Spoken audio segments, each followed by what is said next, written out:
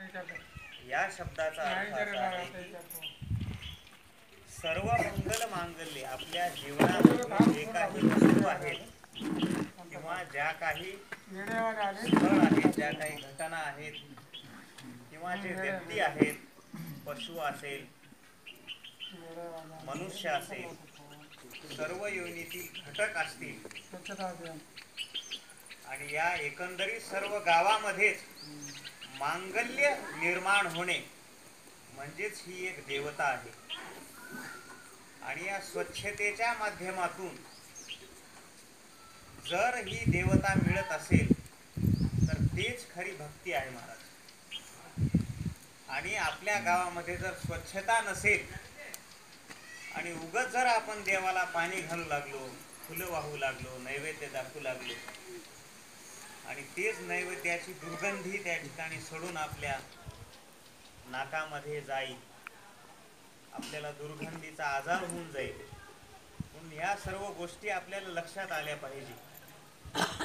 की भक्ती करत असताना स्वच्छतेला सुद्धा महत्त्व अशा प्रकारचं दिल्या जावं. का दिल्या जावं? कारण आपण पाहत असतो गावाच्या प्रवेश रस्त्यावरच काही गावातील मंडळी विष्ठा करत असतात. का बरं रस्त्यावर करत असतात? त्यांना एवढं का कळू नये की ह्या विष्ठेमुळं आपल्या शरीरावर आपल्या लहान मुलावर किती दुर्गंधीयुक्त आजार पसरतात?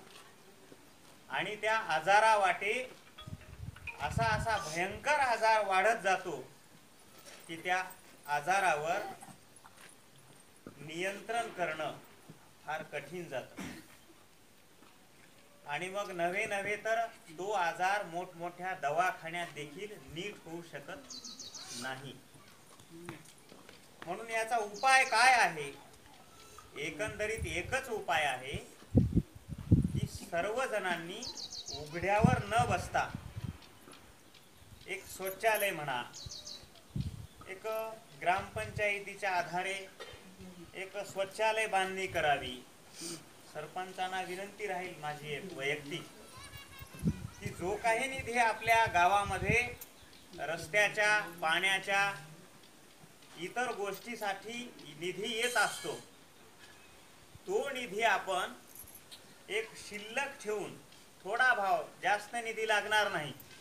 एक लाख दोन लाख अशा पद्धतीचा निधी वैयक्तिक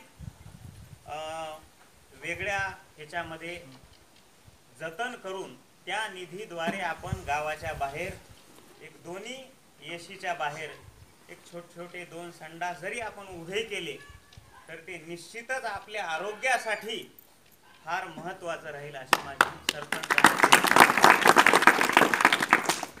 हे बरोबर वाटतं का तुम्हाला आमचं बोलणं? कारण बाहेर जर आपण बसलो तर वेगवेगळ्या रोगांना आपल्याला बळी पडायचा आहे.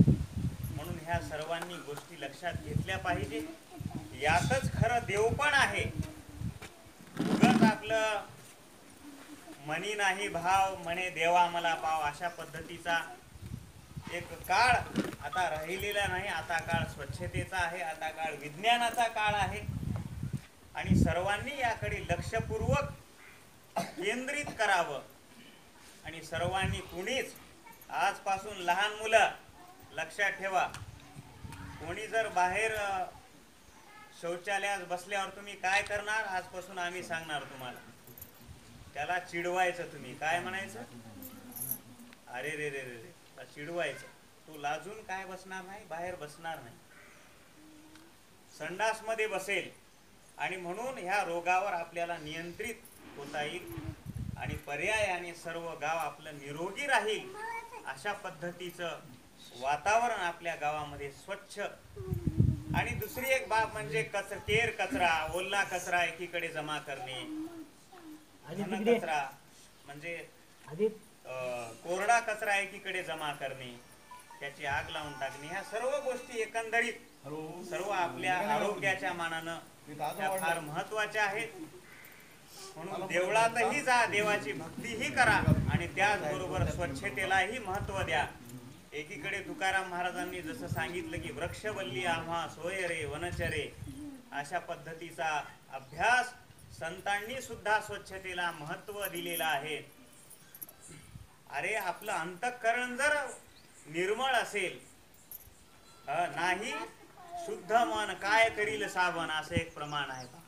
आपल्या अंतःकरणामध्ये शुद्धता नाही तर बाहेरून आपण शेंट जरी मारला भगवे आपले आपले पांढरे शिपट कपडे जरी घातले तरी ते काही महत्त्वाचे नाही. पहिल्यांदा आपलं गाव सर्वांनी स्वच्छता करा आणि नुसतं करायचं नाही महाराज ही टीम सर्व स्वतः येऊन आता तुम्ही बघा. या आता पंधरा अर्धा तास आपल्याला ही स्वच्छता कशी करतात आपल्याला लाज वाटेल अशी ही स्वच्छता हे सर करत असतात. महाराष्ट्रामध्ये प्रत्येक गावामध्ये ते स्वच्छता करत असतात. आणि यांचा आदर्श आपण सर्वांनी घ्यायला हरकत नाही. एवढे बोलून मी या ठिकाणी दोन शब्द संपवतो.